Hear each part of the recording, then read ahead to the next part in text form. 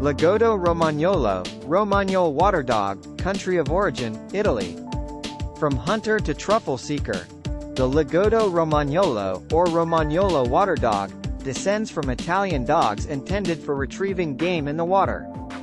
Moreover, its name means in Italian, dog of the lakes of Romagna, which translates very well its initial use, as well as the region of northern Italy from which lives comes, Romagna. It was used at least from the Italian Renaissance for this task, especially in the marshes and lagoons present in its native region. In addition to keeping company with his masters and watching over their homes, he had no equal in going to retrieve ducks that had been killed and were lying in the water. It is therefore in a way the Italian equivalent of the Spanish water dog, or the Irish water spaniel. Moreover, many specialists argue that the Lagotto Romagnolo is the oldest of the breeds of game retriever dogs and that it is the distant ancestor of many more recent breeds, such as the Golden Retriever, the Portuguese Water, or the Poodle. It would also be one of the oldest Italian dog breeds. The first trace of Lagotto Romagnolo, the first trace of an animal resembling him dates from the 15th century, and more precisely from 1474, on a fresco named Parete dell'Incontro, painted by the Italian Andrea Mantegna. It was also described by the philosopher Erasmus, 1466 to 1536, and appeared in some works by the engraver Marcantonio Raimondi, 1480 to 1534.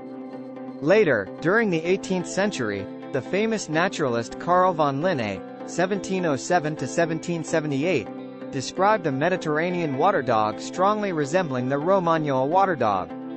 Towards the end of the 19th century, a large part of the marshes of the region was drained to serve as cultivable land, so that the Lagotto Romagnolo was left without work.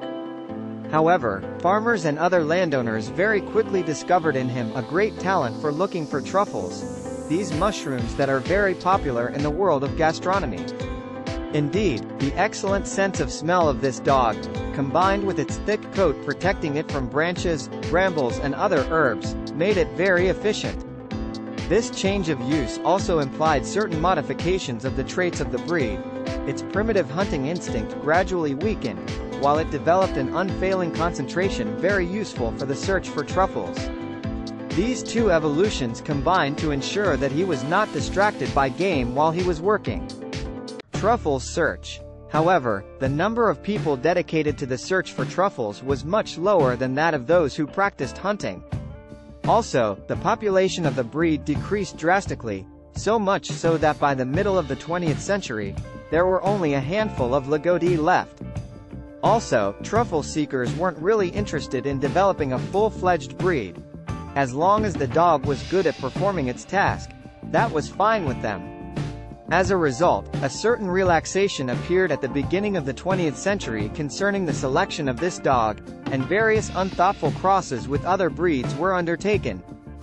The rescue and spread of the breed during the 20th century.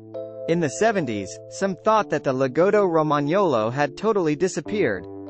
There were, however, a few left in Italy, which passionate breeders took significant steps to preserve. The group was led by Quintino Toschi, a breeder and judge at the Ente Nazionale della Cinofilia Italiana, ENCI, the canine organization of reference in the country.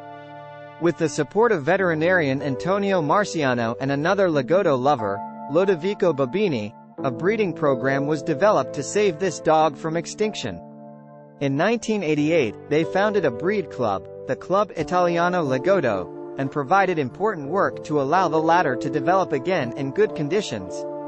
The work provided by this group was a success, and notably allowed the Romagnol water dog to be recognized by the ENCI in 1992. It then began to make itself known and spread abroad, particularly in Europe, France, Switzerland, Germany, Finland, Great Britain, etc.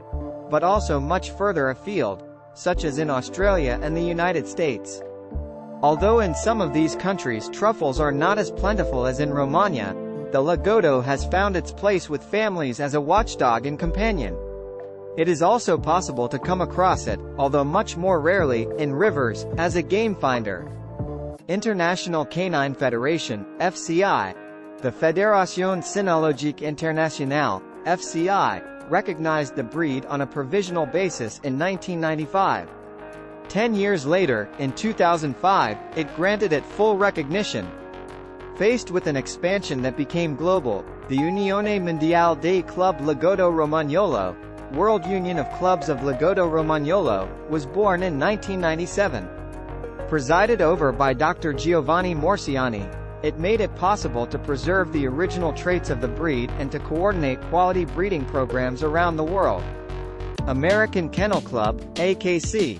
It was also this same year that a breed club was founded in the United States, the Lagotto Club of America. The American Kennel Club, AKC, accepted in 2001 to register the Lagotto within its foundation stock service, prior to full recognition which occurred in 2015. The other reference organization in the United States, the United Kennel Club, UKC, recognized her for her part in 2006. On the Canadian side, the Lagotto Romagnolo made its debut in 1999. The first subject imported into the country came from a famous Italian breeding named Farney. The same year, a very first breeding was created in Alberta. Others followed in particular in 2000 and 2004, respectively in Ontario and Nova Scotia. Even if these pioneer farms no longer exist today, they greatly contributed to the spread of the breed on Canadian territory. She was provisionally recognized in 2012 by the Canadian Kennel Club, CKC, then definitively in 2016.